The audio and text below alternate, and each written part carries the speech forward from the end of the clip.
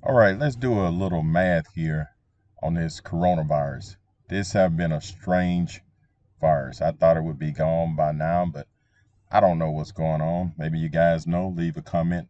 But let's check out Corona. Uh, let's mess with this spreadsheet. You got A through Z.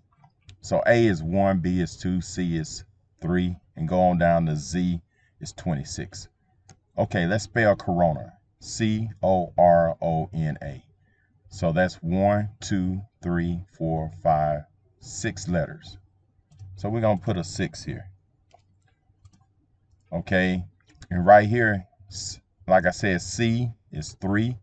O, if you go right here, is 15. R is 18. Uh, o is 15. N is 14. A is 1. So if we do a formula right here and add all these numbers up together, we'll just go up here we'll say auto sum right here. So it's going to sum all these together. I'm going to hit enter. It's 6. So you got 6 here, 6, 6. So let's concatenate equals concatenate this cell and this cell and hit OK. Look at this, Corona 666. Pretty strange what you guys think about it. Leave me a comment below.